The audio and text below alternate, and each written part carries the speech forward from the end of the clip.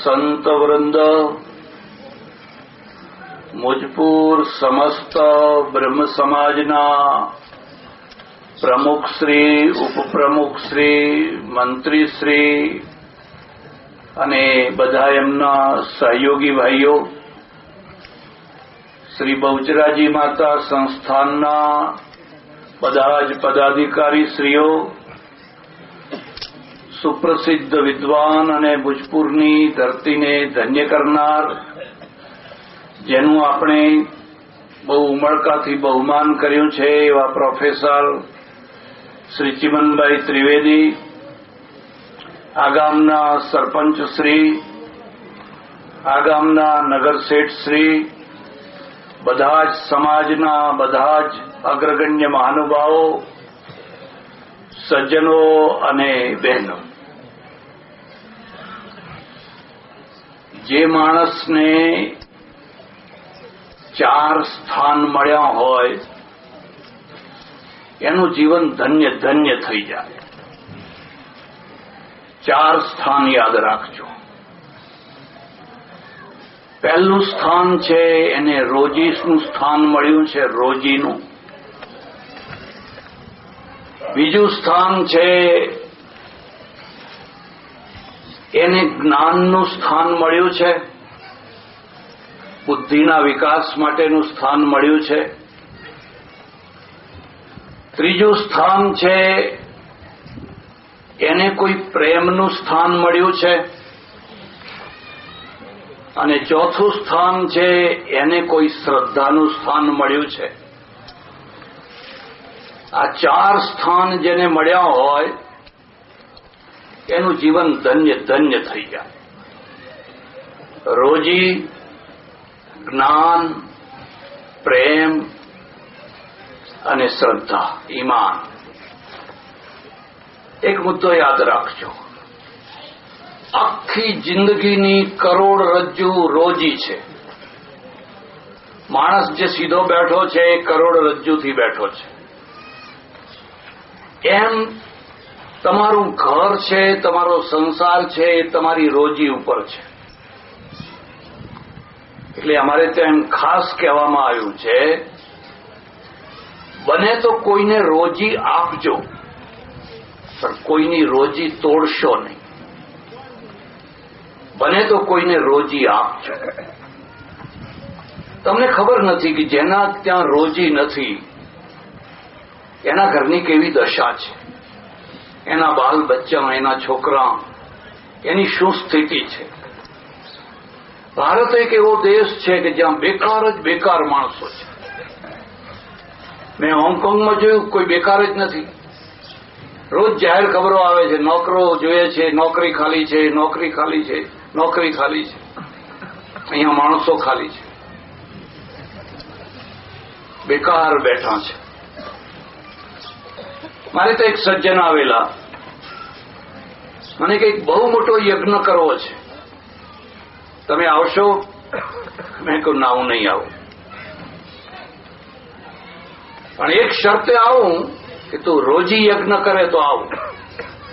જેમાં પાંચ પચીસ માણસોને રોજી મળે.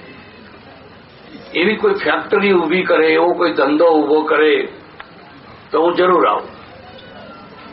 એને મારી વાત ગમી નહીં. એક ખાસ મુદ્દો યાદ રાખજો. માણસની સૌથી વધુમાં વધુ લાગણી જે દુભાતી હોય છે ને, એ ધાર્મિક ક્ષેત્રમાં દુભાતી હોય છે. ચીલાચાલુ ઘરેડની વાત કરો તો રાજી. ને ચીલાચાલુ ઘરેડમાંથી થોડીક આડી અવડી ખસીને વાત કરો એટલે તરત લોકો નારાજ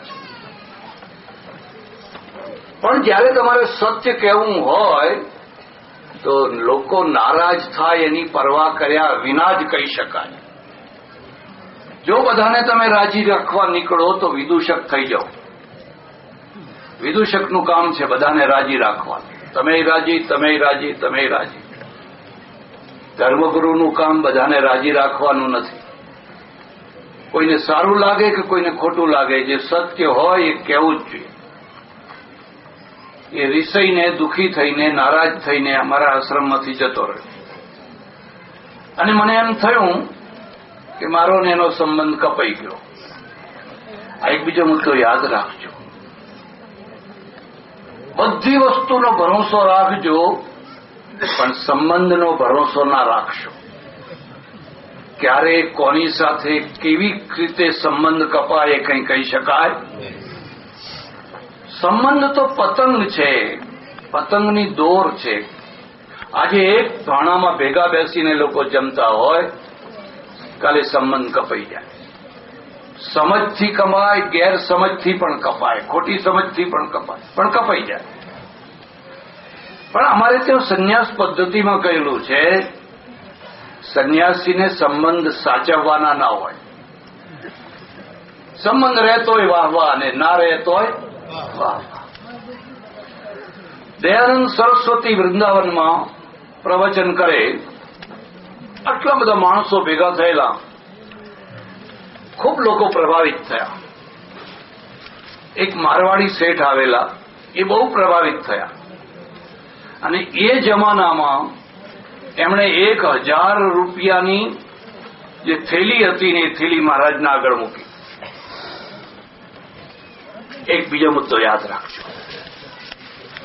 જે પૈસાથી ખરીદાય એ સત્ય ના બોલી શકે. બહુ જલ્દી જે પૈસાથી ખરીદી જાય, એ કદી સત્ય ના બોલી શકે. એક હજાર રૂપિયાની થેલી, એ જમાનામાં આજથી બસો વર્ષ, પોણા બસો વર્ષ ઉપર. લોકો તો જોતા જ રહી ગયા હો હો અને પછી પ્રવચન ચાલુ હતું ચાલુ પ્રવચન, મૂર્તિ પૂજાનું ખંડન આવ્યું. ઈશ્વરને કોઈ મૂર્તિ નથી, ભગવાનની મૂર્તિ નથી, એવી બધી વાતો આવી. પેલા શેઠને બહુ દુઃખ થયું, બહુ આઘાત લાગ્યો કાં તો નાસ્તિક માણસ નીકળ્યો. મેં જેને હજાર રૂપિયા મૂક્યા છે, એ તો એ તો બિલકુલ નાસ્તિક માણસ નીકળ્યો. એક બીજો મુદ્દો યાદ રાખજો. જેને ગમે તેમ કરીને રસ્તો કાઢતા આવડે ને એનું નામ વાણીઓ કહેવાય. જેને રસ્તો કાઢતા જ ના આવડે. એક છીંડામાં પેસી ગયા, એ પેસી ગયા. હવે હવે નીકળવું ક્યાં? એ તો રજપૂત કહેવાય, પટેલ કહેવાય. પેલા શેઠ છે ને, એમણે કહ્યું કે હજાર રૂપિયા હવે તો અપાય નહીં, આ જવા ના દેવાય. એટલે ધીરે ધીરે ધીરે ધીરે નજીક આવ્યા અને નજીક આવીને પેલી થેલી ઉપર હાથ મૂક્યો. મહારાજ તો તન્મય થઈને પ્રવચન કરતા હતા. પણ એમની નજર ગઈ કે હું અને થેલી લઈને પોતાની બાજુમાં મૂકી દીધી. મહારાજ સમજી ગયા. અને એમણે તરત જ એક ભરતોરીનો પ્રસિદ્ધ શ્લોક છે, એ પ્રસિદ્ધ શ્લોક બોલ્યા નિંદંતુ નીતિ નિપુણા યદિવા સ્તુવંતુ લક્ષ્મી સમા વિશતુ ગચ્છતુ વા યથેચ્છમ, અદ્યૈવ વા મરણ મસ્તુ યુગાંતરે વા ન્યાયાત પથાત, પથ પ્રવિચલંતિ પદમ ન ધીરા. નિંદંતુ નીતિ નિપુણા કોઈ ગમે એટલી નિંદા કરે અથવા કોઈ ગમે એટલી સ્તુતિ કરે, હારનો ઢગલો કરે કે કોઈ ગમે એટલી નિંદા કરે. લક્ષ્મીનો ઢગલો થાય કે કોઈ લક્ષ્મી પાછી લઈ જાય. પણ જે મનસ્વી પુરુષ છે, ન્યાય માર્ગથી કદી વિચલિત થઈ શકે? ભાઈ, હમણાં બંધ રાખ પછી પછી. પછી. પ્રવિચલંતી પદમ ન ધીરા પણ જે ધીર પુરુષ છે, એ કદી ન્યાયથી વિચલિત થાય? તમે ઘઉં ખરીદી શકો, કોઈની દુકાન ખરીદી શકો, કપડાં ખરીદી શકો, સોનું ખરીદી શકો. પણ જો તમે કોઈના વિચારો ખરીદતા થઈ જાઓ ને, તો એ વિચારોમાં દમ ના હોય. વિચારો વેચાય નહીં. સિદ્ધાંતો વેચાય નહીં. વિચારોનું કોઈ મૂલ્ય ના હોય. પેલા ભાઈ તો નારાજ થઈને ગયા. મેં કહ્યું, સંબંધ તૂટે તો તૂટે. રહે તો રહે. કેટલાય તૂટ્યા ને કેટલાય રહ્યા. આ તો ચાલ્યા કરે દુનિયા ચાર વર્ષ પછી ફરી આવ્યા. મેં કહ્યું, આ તો ફરી આવ્યો માણસ. પત્ર ને ફોન ને બધું બંધ થઈ ગયેલું. મેં કહું હવે કેમ આવ્યા? મને કે, હવે તમે કહેતા હતા, એવો યજ્ઞ કર્યો છે. મેં એક ફેક્ટરી ઊભી કરી છે અને અઢીસો માણસને એમાં રોજી મળે એવી છે. અઢીસો માણસને. મેં તો જરૂર આવીશ. એનું ઉદઘાટન કરવા આવીશ. એ ગરીબ માણસ જયારે કોળીઓ ખાય છે ત્યારે યજ્ઞ કરે છે. પ્રાણાય સ્વાહા, અપાનાય સ્વાહા, વ્યાનાય સ્વાહા, ઉદાનાય સ્વાહા, સમાનાય સ્વાહા. એના છોકરા બૈરા એ યજ્ઞ જ કરે છે. એ કોળીઓ ખાય છે. જો મારી વાત તમારા સમજમાં આવી હોય, તો ભલા થજો, કોઈની રોજી તોડશો નહીં. આજે આપણે દુકાનો સળગાવવા બેઠા છીએ. આજે આપણે કેટલાની રોજીઓ તોડવા બેઠા છીએ. અને વિચાર નથી કરતા કે એ પછી એના ઘરની દશા શું થશે? એના બાળ બચ્ચાની દશા શું થશે? એ માળો વિખાઈ જશે તો એ પક્ષીઓ જશે ક્યાં? એના ઈંડાનું શું થશે? એના બચ્ચાઓનું શું થશે? કારણ કે માણસમાં ભૂત ઊભું થયું છે. શૈતાન પેદા થયો છે. અને જો તમારે શૈતાન પેદા ન કરવો હોય, ભૂત પેદા ન કરવું હોય, તો ભગવાનને બેસાડવાનું. ભગવાન ના હોય ત્યાં ભૂત આવે. ભગવાન ના હોય ત્યાં શૈતાન આવે.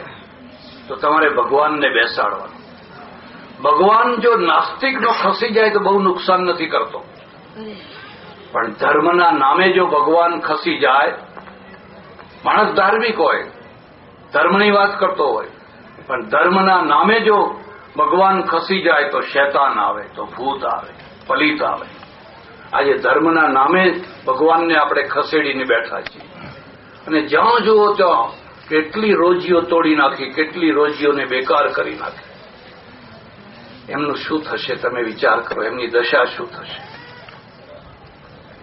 એટલે પહેલું સ્થાન. મારે બહુ ચર્ચા નથી કરવી. પહેલું સ્થાન રોજીનું છે. એક માણસ સાંજે પચીસ રૂપિયા કમાય છે. એક માણસ સાંજે પચીસ હજાર રૂપિયા કમાય છે. એક માણસ સાંજે પચીસ લાખ રૂપિયા કમાય છે. એ બધાની રોજી છે. બધાની સરખી નથી.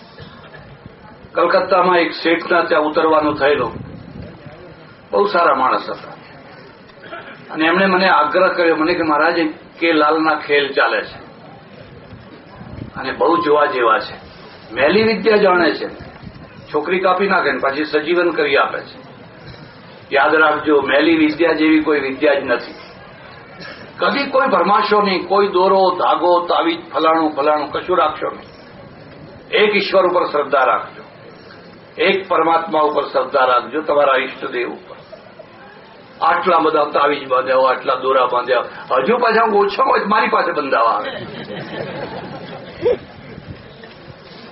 મને કે મહેલી વિદ્યા જાણે છે. અને બેસા હમણાં બેસા ચાલુ મને અવાજ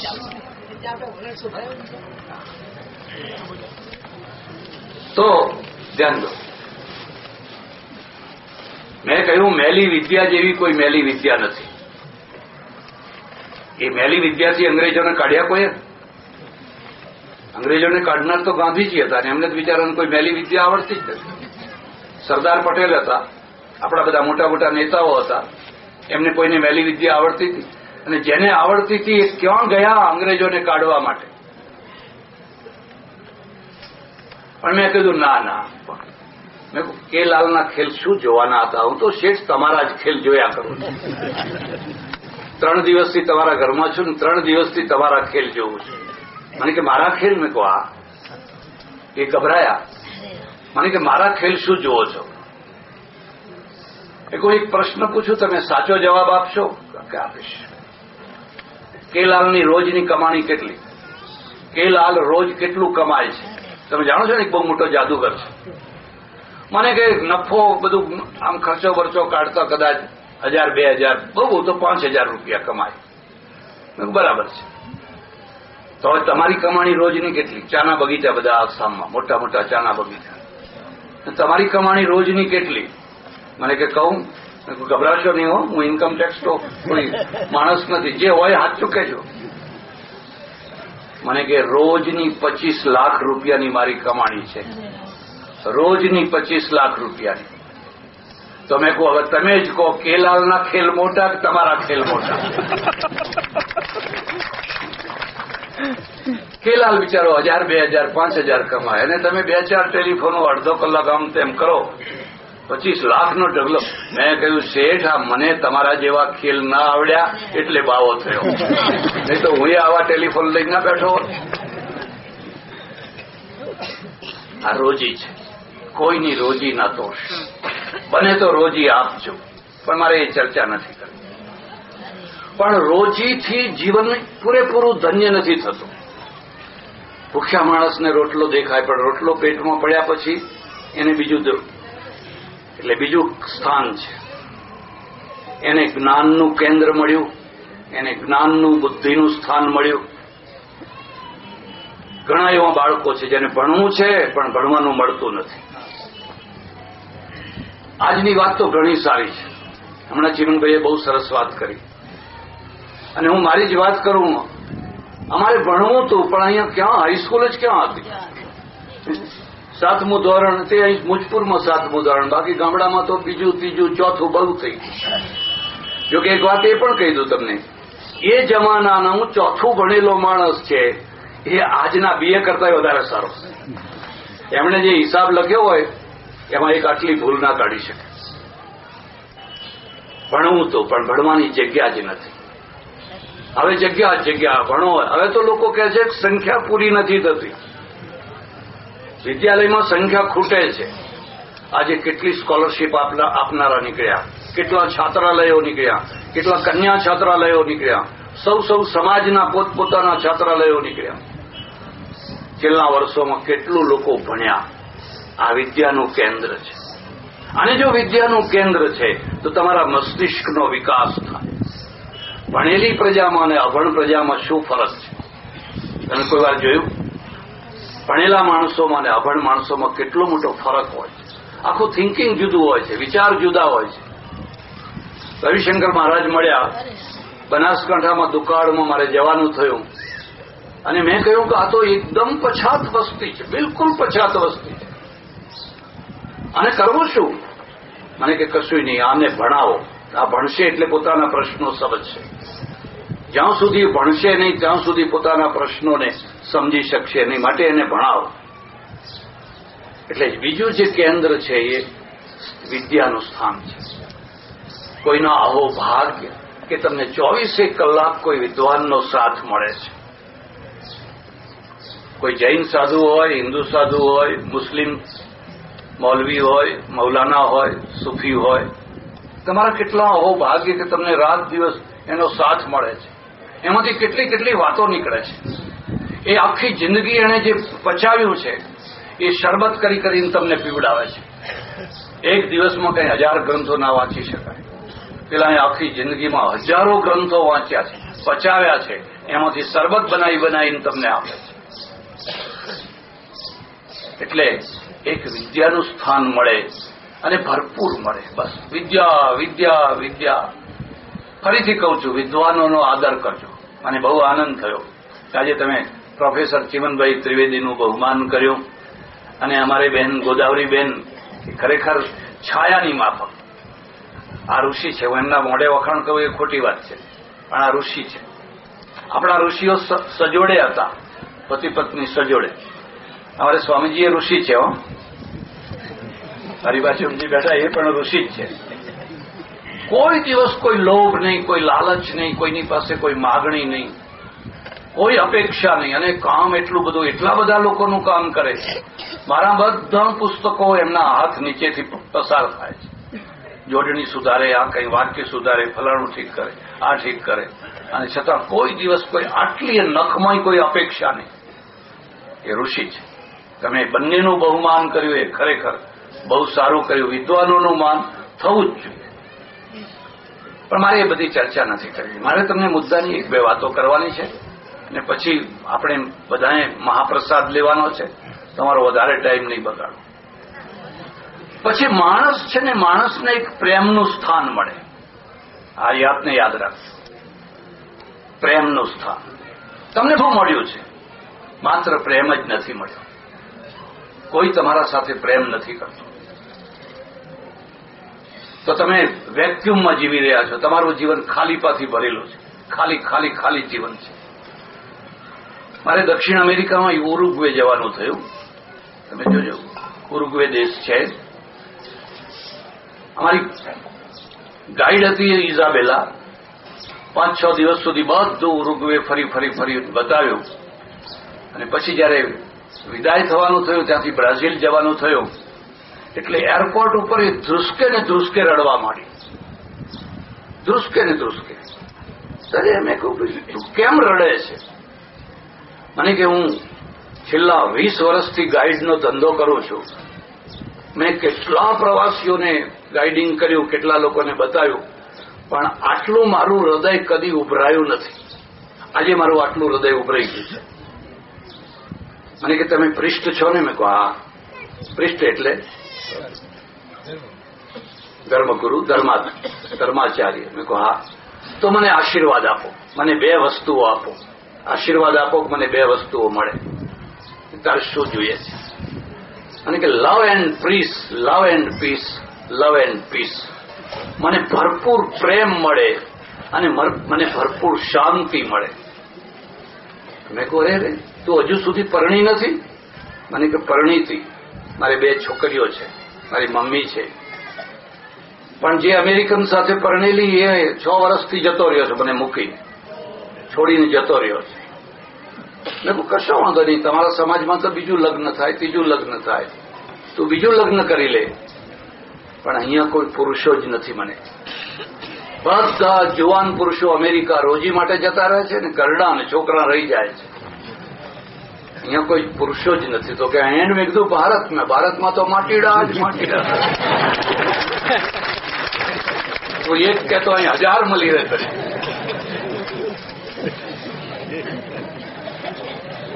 મેં કહ્યું તને ખબર છે? લવ કોને મળે ને પીસ કોને મળે? જે વફાદારીથી એકને પકડીને રહે છે, એને લવ મળે. અને જે સંપૂર્ણ ભાવથી ઈશ્વર શરણાગતિમાં રહે છે, એને શાંતિ મળે. તમે બધા બદલ બદલ કરો છો, બદલ બદલ કરો છો. એટલે તમને લવ નથી મળતો. વાસના અલગ વસ્તુ છે, લવ અલગ વસ્તુ છે. તમે આ હોટલમાં જમી શકો, પેલી હોટલમાં ચા પી લો, પેલી હોટલમાં શરબત પી લો. એ હોટલો તો ઘણીએ છે. પણ ઘરના રોટલામાં જે સ્વાદ છે, ઘરના રોટલામાં જે મીઠાશ છે, એવા ઘણા માણસો હોય છે, ઘરના રોટલા સિવાય ક્યાંય ના ખાય. બે દિવસ ભૂખ્યા રહે, તમે તે બિસ્કિટ ખાઈ લે જાડો રોટલો ખાઈ લે. એની ઘરવાળી છે ને હજાર કામ પડતા મૂકીને દોડતી આવે કે ભૂખ્યા જશે, ખાતા નહીં હોય. એ ખાતા નહીં હોય, એને ચિંતા જ થતી હોય કે કોઈના ઘરનું નહીં ખાય. અને જે ઘરવાળીને ખબર છે કે તો આ હોટલમાં ખાશે ને પેલી હોટલમાં ખાશે. એ મહિનો મોડા જશું તો કઈ વાંધો આવવાનો કશો વાંધો આવવાનો નથી. એને લવ ના મળે. અને લવ છે, પ્રેમ છે ને એ પરમેશ્વર છે. તમને ખબર નથી. લંડનમાં એક બહુ મોટું સર્વધર્મ સંમેલન થયેલું. એમાં સુફીઝમના બે ધર્મગુરુઓ આવેલા. સુફીઝમ. મુસ્લિમોમાં એક ભાગ છે સુફીઓનો. પ્રવચન બધાનું કરવાનું થયું મારું થયું હતું. એમણે આવીને કહ્યું love is God God is love શબ્દો પર ધ્યાન દેજો. એને કહ્યું કે અમે એમ માનીએ છીએ પ્રેમ છે એ જ ભગવાન છે. ગાંધીજીએ કહેલું, સત્ય એ જ પરમાત્મા. લવ જે પ્રેમ છે, એ જ પરમાત્મા છે. મેં મારા પ્રવચનમાં ઉલટાઈ દીધું. મેં કહું પરમાત્મા એ જ પ્રેમ છે. બેના ફરકને સમજો કૃષ્ણ પ્રેમ રૂપ છે, પ્રેમ રૂપ. તમે કદી સમજી નહીં શક્યા હો. કૃષ્ણ કૃષ્ણ કૃષ્ણ કરો. અબ્દુલ રહીમ ખાન ખાના બહુ મોટા સેનાપતિ. અકબરના બહુ મોટા સેનાપતિ સર સેનાપતિ એ ફારસીના વિદ્વાન, અરબીના વિદ્વાન અને સંસ્કૃતના વિદ્વાન. બહુ મોટો સ્કોલર હતો. એના કેટલાક શ્લોકો એટલા અદભુત શ્લોકો છે કે બોલું તો આખી વાત બાકી રહી જાય. આનીતા નટવન્મયા તવ પુરા શ્રીકૃષ્ણયા ભૂમિકા. વ્યોમાકાશ ખખાંબરાબ્ધિ વસવસ્પત પ્રીતયે દ્યાવધી પ્રીતો યજ્ઞસિતા સમીક્ષ ભગવંતદ વાંછિતમ દેહી મે નો ચેન બ્રૂહી કદાપી માનય પુનર મામિદ્રિશામ ભૂમિકા તમે કઈ સમજી નહીં શક્યા હો। કોઈ એમને પૂછ્યું, અબ્દુલ રહીમ ખાન ખાના, તમે આટલા મોટા સ્કોલર છો, આટલા મોટા વિદ્વાન છો, તમે કૃષ્ણના પદ કેમ રચો છો? કૃષ્ણના શ્લોકો કેમ રચો છો? એને બહુ સુંદર જવાબ આપેલો. એને જવાબ આપ્યો કે એટલા માટે કૃષ્ણ વાંકો છે. બીજા બધા સીધા છે. રામ સીધા છે. આમ ઊભા હોય તો સીધા. બધા જોઈ લેજો. બધા સીધા. આ એક જ ભગવાન એવો છે કે જે વાંકો ચૂકો છે. પગ વાંકા, હાથ વાંકા, માથું વાંકું. બધું જ વાંકું જ વાંકું. તે સીધાને ભજવાના હોય કે વાંકાને ભજવાના હોય? એમણે બહુ સુંદર જવાબ આપ્યો કે ખીલી સીધી મારો ને પછી જોરથી ખેંચો નીકળી જાય. પણ વાંકો સ્ક્રૂ હોય ને, એને એક વાર લગાવો ને પછી ખેંચો તો એ નીકળે. આ કૃષ્ણમાં એવી તાકાત છે કે એક વાર જો એ કોઈના હૃદયમાં પેસી જાય, આખી દુનિયા ખેંચે તો એ પછી એ નીકળે. મીરાબાઈના હૃદયમાંથી ના નીકળ્યો. રાણાએ બહુ જોર કર્યું, ખેંચીને કાઢી નાખવા માટે. ચૈતન્ય મહાપ્રભુના હૃદયમાંથી, નરસિંહ મહેતાના હૃદયમાંથી, ઓહો. એને પ્રેમ લક્ષણા ભક્તિ કે છે. આપણા ત્યાં ભક્તિની કક્ષાઓ છે, એમાં પ્રેમ લક્ષણા ભક્તિ. એમાં પ્રેમ પોતે જ પરમાત્મા થઈ જાય. એટલે આપણે ભાગવતનો જે કૃષ્ણ છે, એ ભાગવતના કૃષ્ણની આ વિશેષતા છે ગોડ ઇઝ લવ પરમેશ્વર પોતે જ પ્રેમ રૂપ છે. ખાલી જ્ઞાનરૂપ નહીં થાય તો લુખ્ખું થઈ જાય. ખાલી ગાન જ્ઞાન રૂપ, ઘટાકાશ, મઠાકાશ ઘટાકાશ, મઠાકાશ, રજ્જુ ને સર્પ, આખી જિંદગી માથા ખોટ્યા જ કરો. આખી જિંદગી કશું હાથમાં આવે નહીં. કૃષ્ણને કહ્યું, ઉદ્ધવે કહ્યું કે પેલી ગોપીઓ છે ને, કૃષ્ણ કૃષ્ણ કૃષ્ણ કરીને ઝુર્યા કરે છે. તમે કહો તો હું જઈને એને જ્ઞાન સમજાવી આવું. એને જ્ઞાન આપું કે કૃષ્ણ ક્યાંય નથી તારા હૃદયમાં બેઠેલો છે. તારા અંદર જ ભગવાન બેઠેલો છે. શા માટે ઝૂરો છો? કૃષ્ણે કહ્યું, જા ને, તને હું ક્યાં ના પાડું? તું જા. અને ઉદ્ધવ છે એ ગોપીઓને સમજાવવા માટે વ્રજમાં આવ્યા. ગોપીઓ બધી ટોળે વળી ગઈ. કૃષ્ણના શું સમાચાર? કૃષ્ણ શું કરે છે? કૃષ્ણ કૃષ્ણ કૃષ્ણ. અને ઉદ્ધવે જયારે એને સમજાવવાનું શરૂ કર્યું, એમની આંખમાંથી ધડધડ ધડધડ ધડધડ આંખું વહી રહે છે. એક મુદ્દો યાદ રાખજો. પ્રેમની પરાકાષ્ઠા વિયોગ છે. યોગ નહીં. યોગમાં ભોગ છે. વિયોગમાં પ્રેમ છે. જે ઝૂરે એ જ પ્રેમ છે. જે ભગવાન માટે ઝૂરે અલ્લાહ માટે ઝૂરે ખુદા માટે ઝૂરે તું ક્યારે મળીશ, તું ક્યાં મળીશ, તું કેવો છે, ક્યાં હઈશ? હવે તો મળ, હવે તો મળ. એ ઝૂરે એમ જ પ્રેમ છે. અને આ ઉદ્ધવ એટલો પ્રભાવિત થયો કે એને ભાન જ ના એવું બોલવાનું. ઉધો મન ન હોય દસ વીસ. પાછા આવ્યા. કૃષ્ણે કહ્યું, ગોપીઓને સમજાવ્યા કે હું જ સમજીને આવ્યો. સમજાવવા ગયો તો પણ સમજીને આવ્યો. મને હવે સમજાવ્યું મારા કરતા એમની ભૂમિકા ઘણી ઊંચી છે. એક પ્રેમનું સ્થાન છે. અને આ પ્રેમની ભૂખ બાળકને હોય છે, મા માટે. મા મા મા મા. બાળક બાળક કેમ મા વિના રહેતું નથી? અને મા વિન, બાળક વિના મા નથી રહી શકતી.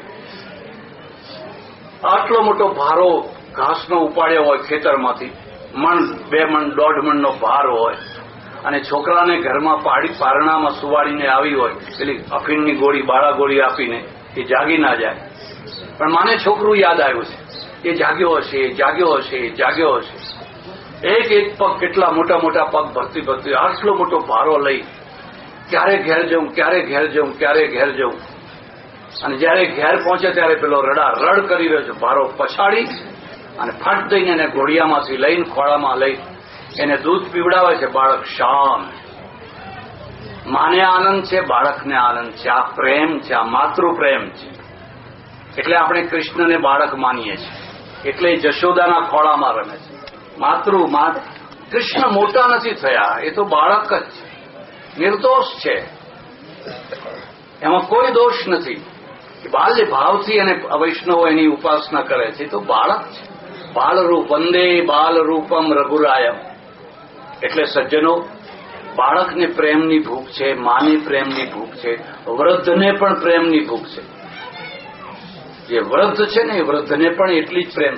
એક છોકરો આવીને, બાપા બાપા કરે, તમારે ખાધો તમે? તમે જમ્યા? તમારું માથું દબાવી આપું? તમારો પગ દબાવી આપું? જોકે આજકાલ ઘણા એવા છોકરા હોય છે, ગળું દબાવી આપે. મારા ઓળખીતા એક બહુ મોટા શેઠ હતા. કરોડાધિપતિ હતા. મુંબઈમાં રહે. મારી પાસે આવે ઘણી વાર એકવાર આવીને રડવા બેઠા. મેં કહું કેમ રડો છો? ભાઈ આગળ નહીં. આગળ આગુ પાછું નહીં કરવાનું. તમે ક્યારના આગા પાછા થયા કરો? ચૂપ્યા બેસી. નેવું વર્ષના એમનો મોટો છોકરો પંચાવન વર્ષનો. મેં કહું કેમ રડો છો? મને કે હું માધવ પડ્યાનો હોસ્પિટલમાં દાખલ થયો. મારી બાજુમાં એક કાઠિયાવાડનો ડોસો બીજો દાખલ થયેલો, મધ્યમ વર્ગનો. એના છોકરા આવે અને બાપા બાપા કરે, બાપા પગ દબાવું, બાપા આમ કરું, બાપા તમારા માટે આમ લાવું. અને મારા છોકરા આવે એટલે મને શેઠ કહે. બાપા ના કે શેઠ કે શેઠ તમારે શું જોઈએ? શેઠ તમારે શું જોઈએ? અને મને મનમાં થાય કે મને આ બાપા કેમ નથી કહેતા?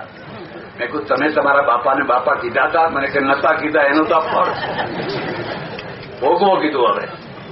જે કીધું એ જ પાછું આવીને મળે છે. વૃદ્ધાવસ્થામાં પણ એટલી જ પ્રેમની ભૂખ હોય છે. એટલે જીવનને પ્રેમથી ભરપૂર બનાવજો. અને હું એમ માનું છું કે અધ્યાત્મને અને પ્રેમને વિરોધ નથી. ભાગવત આખું એનું પ્રમાણ છે. ઉપનિષદનું બ્રહ્મ છે એ એકદમ શુદ્ધ બ્રહ્મ છે. એમાં પ્રેમ નથી. સત્યમ જ્ઞાનમ અનંતમ બ્રહ્મ પણ ભાગવતનું જે પ્રેમ બ્રહ્મ છે, એ તો માખણ ખાનારું પ્રેમ છે. ગોપીઓની આગળ નાચનારું પ્રેમ છે. છોકરું જયારે ઘરમાં રમતું હોય ત્યારે જોજો કેટલો આનંદ આવે એટલે એક જગ્યા એવી હોય, જ્યાં તમને પ્રેમ મળે. પછી મિત્રનો હોય, ભાઈબંધનો હોય, માનો હોય, ભાઈનો હોય, બાપનો હોય, દીકરાનો હોય, પત્નીનો હોય, પતિનો હોય કોઈનો પણ હોય, પણ એ શુદ્ધ પ્રેમ મળે, તમે જીવન ધન્ય થઈ ગયા. પણ તમને ક્યાંયથી પ્રેમ નથી મળતો, તમે જીવન આવી જશો. વેક્યુમ આવશે, ખાલીપણું આવી જશે. હવે મારે જે છેલ્લી મુદ્દાની થોડી વાત કહેવાની, એ વાત એક શ્રદ્ધાનું સ્થાન જ્યાં માથું નમાવાનું મન થાય, જ્યાં સમર્પણ કરવાનું મન થાય. એવી એક જગ્યા હોવી જોઈએ. મિશ્ર છે ઇજિપ્ત મિશ્ર. એનો એક સિનાઈ દ્વીપકલ્પ છે. ત્રણસો સાડા ત્રણસો કિલોમીટરનું રણ. હું આખું રણ મેં બસમાં પાર કરેલું. અને એ સિનાઈ દ્વીપકલ્પમાં આજે પણ બેદોઈન નામની જાતિ રહે છે. એ ઊંટ ને બકરા અને કાળા કપડા, આપણા ત્યાં જે ભરવાડ રબારી છે, બિલકુલ એક જ જોઈ લો, બિલકુલ એક જ. પેલા હજારો વર્ષ પહેલા ત્યાંથી ખસતા ખસતા ખસતા ભારતમાં આવ્યા.